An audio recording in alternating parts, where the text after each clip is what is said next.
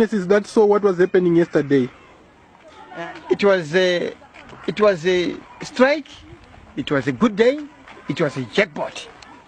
Hey, I got my two neck pairs and I got some good clothes and now I'm asking for Puma and Adidas to bring their own companies so that next time when a government uh, uh, guarantees another strike, we'll have some pairs of shoes uh, for Nike and Puma, uh, for Puma and Adidas. Because the rest are fine, and we'll be having a lot of uh, other like. Uh, What's your view on on, on these uh, strikes?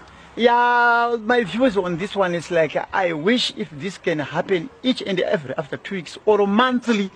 Yeah, so that I cannot bother about groceries, all becoming free.